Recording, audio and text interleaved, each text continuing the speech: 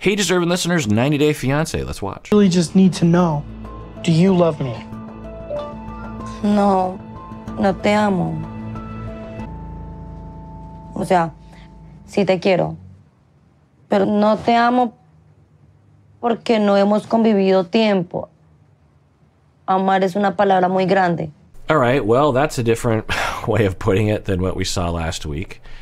So she's saying, I'm not in love with, I love you, but I'm not in love with you because I haven't lived with you for a while. So what's going on with Ximena? I think it's hard to know. So there, there, I'll put forth a few scenarios. There's others, obviously, but one scenario, I guess, best case scenario, she really did love him and wanted also to be in a relationship with someone that was financially stable, that kind of thing. And by the way, I should mention that some people have emailed me that Mike has posted some racist uh, posts similar to Alina, and that is concerning. I don't know the, how true those posts are. I don't know the context around that. And from the looks of it, it's pretty awful. And what I've said in other instances around when I see this happen to other cast members is it does not surprise me. It upsets me, but you know, I've been Asian American for my entire life and have and obviously experienced racism not only towards me but towards people around me for my entire life and it's not that diminished since the 70s when I was a child. So uh, the fact that you have people in my country who have racist values, particularly towards black people, um, is kind of the rule instead of the exception. Particularly if you live in certain echo chamber, and the the post that he was posting seemed to be of a particular echo chamber in my country, which has a, a track record of being pretty deplorable, and and it's not uncommon. The kinds of the posts that I saw him posting were not fringe. They were they have been they have become more mainstream and statistics has shown that research has shown that certain racist white supremacist anti-semitic for that example uh, for, for, for instance ideas have become more mainstream in 2022 than they were in 2012 and we could talk about the sociology of that. We could talk about the backlash of obama becoming president. We could talk about the echo chambering of of of you know because in the past 10 you know years 20 years ago if you had racist leanings there weren't there wasn't a venue for you to be brainwashed. You just had to be talking to people. But you know the media sources were at least more responsible back then. Not entirely of course but certainly not as irresponsible and as provocative as the kind of echo chambers on Facebook and Instagram and Twitter and that kind of stuff. And so um, when I saw what seemed the alleged post that he made, I was like, well, yeah, because uh, just demographically, if we just take a, a census of his identities, I would have given it a pretty good chance that not only does he have those kind of views in his mind, but that he also has posted about those things. Given his age, given his ethnicity, given where he lives, given the way that his family kind of talks about things, um, I I would have I would have guessed that it would be along those lines because that's the that's the norm. That's mainstream now. It's mainstream now to have racist ideas. It's mainstream now to um, post those kinds of things, and so Mike has those sort of things. Do we cancel him? I don't know. You can make the call do I personally hate him? No. I I mean, racism is the rule, not the exception. A lot of people around me, white people, will have racist ideas that they just haven't purged yet or haven't been confronted on or have some kind of vested interest in holding. If I canceled every white person who had a racist notion or had said something that was racist, I would literally have no white people in my life uh, like that's true. Aside from my mom, my mom's white.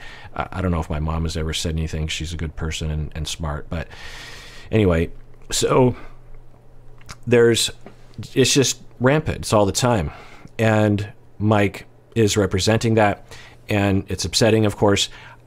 I'm not particularly upset at Mike. I'm upset at our society. I'm I'm I'm upset at the echo chambers and the political figures that uh, stoke those fires and cause fear in people and then in you know you, create the fear and then you insert the solution uh, you know fear fear fear the brown people are coming to take your jobs they're coming to you know rape your women. We're going to you know the brown people the brown people the brown people i will save you. Vote for me and i will build a wall. That's this it's a tactic as old as politics. It goes back centuries that that's what you do. And if you're unethical and you lack morals or you're convinced yourself and it'll work because people don't have the ability to detect that's happening because most people don't spend their entire life studying history and sociology and psychology and they just you know they they're just going along with their lives and they're being manipulated and it happens it's been happening since the beginning of time the weird thing is is i thought the internet would actually get rid of that because the internet would have this ability to uh, you know, call people out in a way. Because, you know, in the past, you just had these media companies that would just brainwash the masses. And I thought, well, the internet is of the people. It's democracy, you know. Then people can actually strike back. But I didn't, and I, and, and I don't know if anyone really knew this, or not many people anyway, that the opposite would happen. that it would make it easier for the propagandists to brainwash the masses. I mean, that's what's so weird about it, you know, because the internet, the information is out there, but we didn't account on the algorithms and the echo chambers and the the the direct line. Because usually in the past, for a politician to, or a pundit to try to inject fear and then provide that solution, they'd have to go through a media outlet, and there were editors and people who were like, "Well, I don't think that's what we want to do." Now you can just go straight to to the masses and manipulate them. And anyway, so Mike's a, a product of that seemingly, and doesn't surprise me. It upsets me. Uh, we seem to be sliding backwards into, uh, you know, uh, make America great again, right? Where racism was the norm and, and was codified in law. And anyway, so what do I think about it? Yeah, it's upsetting. It's been upsetting my entire life. And uh, do I hate Mike? Do we think, you know, do I want to get a pitchfork out and cancel him and get him off the show? I don't care. uh, does Ximena have racist viewpoints? I wouldn't be surprised. Not to say that she's a horrible person, and thus most people have racist point of views, regardless of where they grew up. And so, you know, yes, we need to change that. But canceling the, the few individuals who are able to be identified of making a post and mistakenly leaving it up, by the way, um, you know, I, I guess it's part of the movement, which is okay, but I, it's not the movement, right? Anyway, so one scenario for getting back to one scenario for Ximena is that she was totally in love with him, and then at a certain point fell out of love with him, but is confused and still wants to marry him, but just wants a little bit more time. You know, it could just be the mood she's in today. You know, that could happen. To feel kind of claustrophobic, like, oh my God, he's here. I wasn't expecting him to be here. Oh my God, he's in my space. He's in my bed. He's in my house. He's in my life uh, I don't I don't like this feeling. This you know even though just prior to him coming down here I was totally on board, but now I, I'm getting this feeling, and this is why sometimes it's important to go slow in a relationship because for some people they they do get that kind of claustrophobic feeling even though they are in love and they do want to be with that person and there's nothing wrong with the relationship. So that could have been a scenario. Another scenario is that she never loved him and has been playing the entire time and is getting this icky feeling around him now and she just can't she's like no i can't have sex with him. I just can't do it. I can't i could before. I just i, I could stomach it before. I cannot do it now. And so I, I just have to tell him no i don't want to sex with you. I'm not in love with you. But then this kicks in of like well crap but that means no more money. I, I want these surgeries so i'll string so i've always been lying to him. I've been more honest with him more recently because i can't have sex with him because I, I don't want to but oh crap, you know, because both times she's like, I don't want to get married, but maybe one day, you know. So it, kind of led, you know, I don't love you. No, I don't, I don't love you. Well, I love you, but I'm just not in love with you. But, you know, so that's another scenario. We don't know. I don't want to accuse Ximena of that kind of deception and that psychopathy, really. I mean, that is some awful, awful, deceptive, horrible behavior. I mean, you're basically a con con person, you know. So anyway, so that's a scenario. Um, yeah, I mean, there's others. Those are the two. Let's see if we get some data. I love you, but I do not love you because we have not lived together for a long time. Loving is a very big word. Okay, very briefly, another scenario is that she's never really been in love with him. And for her, given her language and culture, that word is something much deeper that you don't really express unless you're married uh, for a while. And so it's another possibility as well. But when you think of everything put together, the fact she doesn't want to have sex with him, the fact that she went out till nine in the morning, the day he arrived, the fact that she just, you know, she's kind of rolling her eyes. She seems like she's just disgusted by him and doesn't want him around. And uh, so when you think about all that, it, it, it doesn't look good. And I what what I would hope is that Ximena can really reflect and figure out, well, is there a path forward for this relationship? And for my heart to maybe get rid of that icky feeling, maybe develop that love um, or not, and to communicate that to him because he he deserves that. But at the, on the other hand, for him, he should be able to detect what's happening, and I think he is. So let's see. But you always told me that you love me, and I'm your life. Pero siempre me dijiste que me amabas y yo soy tu vida. Sí, pero no te puedo amar. Amar a una persona necesita mucho tiempo de convivencia. Okay, so she's saying essentially what I was saying is the third scenario that for me, or maybe even in my culture, that word in love doesn't happen until you're in a relationship, living together, married, that kind of thing. If I want you to love a person, you need a long time to live together.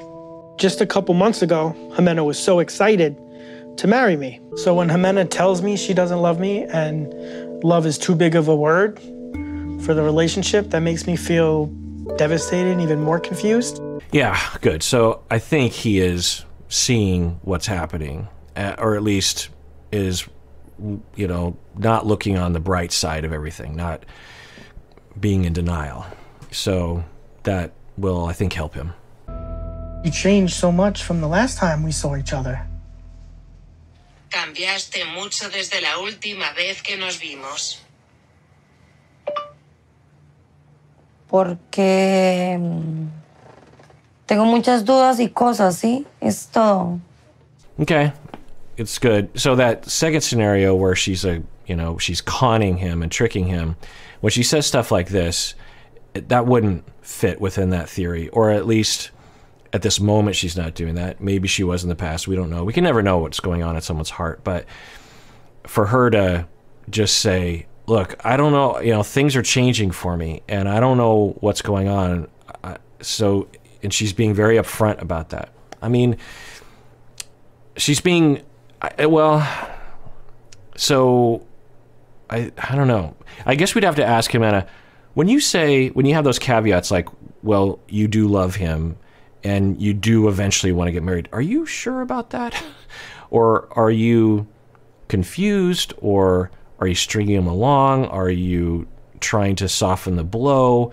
Because there we're hearing now there's a possibility that she truly is confused, that she's had a backslide in terms of her love for him, but she still does love him and does want to get married. In term that's kind of the verbatim of what she's saying. So it's possible, but it's it's also possible that she's completely done with him and she's either lying to him to get money, she's lying to him because she doesn't want to hurt his feelings. People will do that. And it's not cool, obviously, but it's very common that when you're breaking up with someone, people will soften the blow so much that they actually communicate they're not breaking up with someone, if that makes any sense. Anyway, there's other possibilities. Maybe we'll find out. Let's communicate. What are those doubts? Bien, comunicémonos. Hablamos de esto luego, ¿sí? Después hablamos de esto. Quiero, tengo sueño, quiero acostar a los niños a dormir ya. Okay. Buenas noches. Buenas noches. Oh, Mike, you just feel so bad for him. I mean, he's being, in, in terms of his behavior in this moment, he's being super cool. He's not getting upset. He's not getting angry or aggressive. He's just like, what's going on? You know, how, how you feeling? And a lot of other people on the show, you know, think of Angela or someone, would just th- throw everything around and yell and scream and run out of the room and break things. So he's not doing any of that. And he's seemingly just seeing what happens. You know, he's invested in the relationship. He doesn't want to throw it away just yet. And he wants to see. But boy, the signs are there.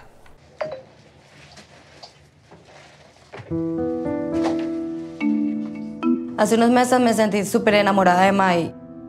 Tío, yo estaba súper feliz, pero no sé qué pasó ahora. Te- Okay. Now she's to elaborate, which is great. But she's saying, I was super in love with him and something happened. Okay. So that lends itself to that first hypothesis, that first scenario where she was legit in love with him, wanted to be with him, and something happened. And that happens. We just fall out of love. Sometimes for conscious reasons, reasons that we can identify, and sometimes for reasons we cannot identify. It just happens. Love is mysterious. So she's being upfront about that, at least to the camera in the interview. And, you know, she's basically, well, she didn't really say that to him. She said, well, I'm in, I'm, I love you, but uh, I'm not in love with you because we don't live together. But then she just told in the interview, I was in love with him, even though we didn't live together and we hadn't been together a long time. So she's either lying to him on purpose or she's trying to soften the blow or she's still kind of confused. Es, lo quiero, sí, le tengo un aprecio, pero no me siento bien con él, de que hay cosas que me incomodan, que me fastidian. Y no le puedo mentir, simplemente soy sincera con él. Yeah, good.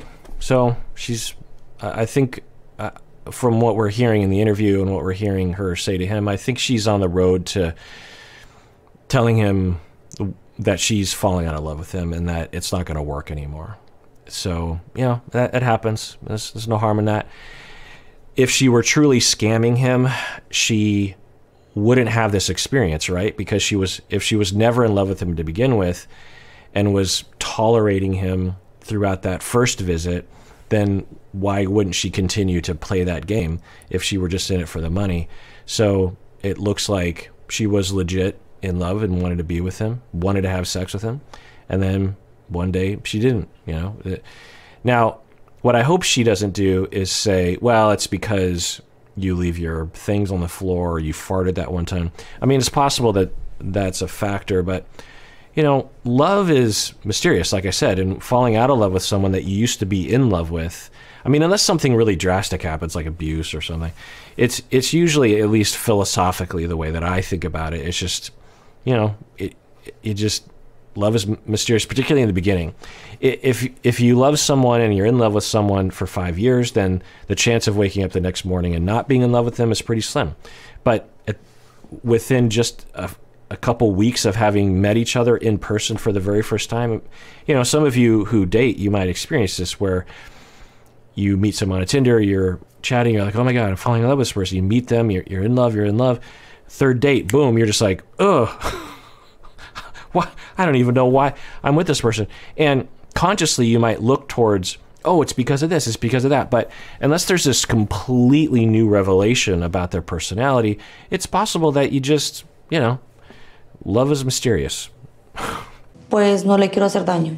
Entonces, por ahora, creo que necesito pensar bien las cosas. Juan, Harold. Vengan a ver. A dormir.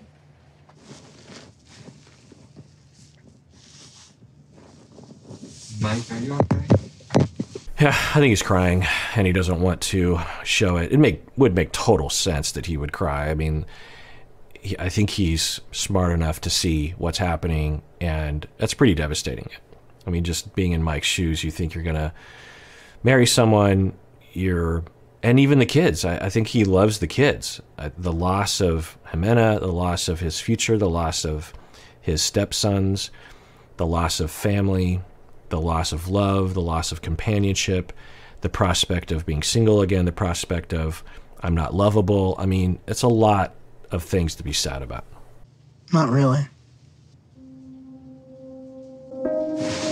No, it's, the, it's yeah, it's just the fact that um, it's just confusing to me because she always saying I love you, I love you, I love you, and now she's changing her mind.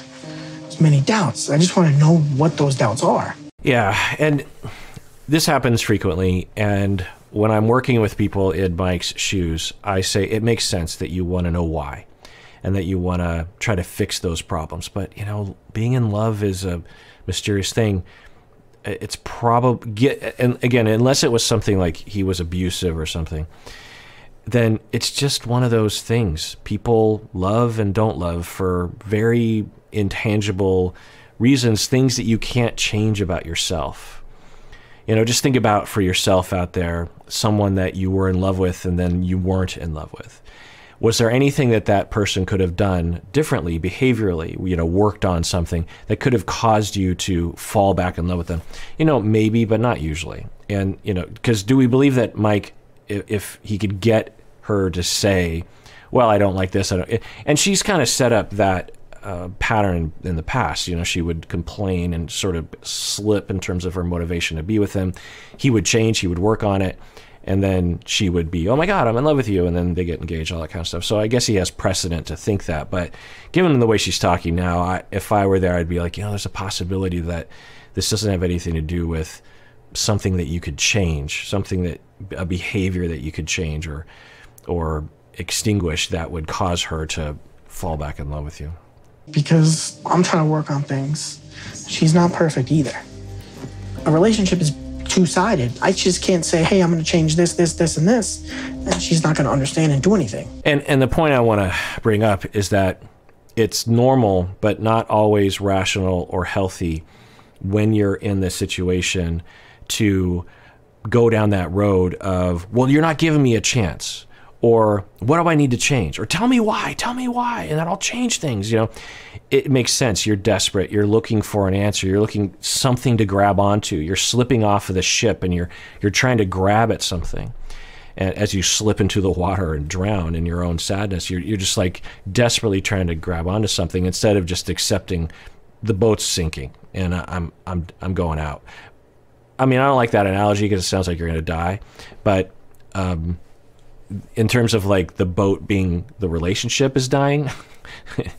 and so sometimes you just have to, so it's normal and sometimes it would it's it's just the way it's going to be that the mics will do that and it's not irrational to be like hey is there anything i can do but it can be harmful to the mics of the world if he assumes that he didn't do something correctly or that she's not giving him a chance to make a change that would make her fall back in love instead of just accepting love is mysterious. So I don't really know what to do. Honestly, tonight, I really don't want to be here, truthfully. Yeah, that makes total sense. It's it's analogous to, and this is a sad topic, but someone is diagnosed with a terminal condition that they are going to die from. They have six months to live, and they've done all the testing, they've, done all the treatments, and they, for you know five and a half months, are doing everything they can against their physician's guidance to find other treatments that will save their life, even though there isn't anything that will save their life. And so they're wasting money, they're wasting time, they're dragging their family through all this, they're uh, not doing the things that they would have done if they knew they were actually going to die in six months. You know, they're traveling the world and trying to do all these alternative medicine things instead of wrapping things up, saying goodbye, finding meaning, that kind of thing.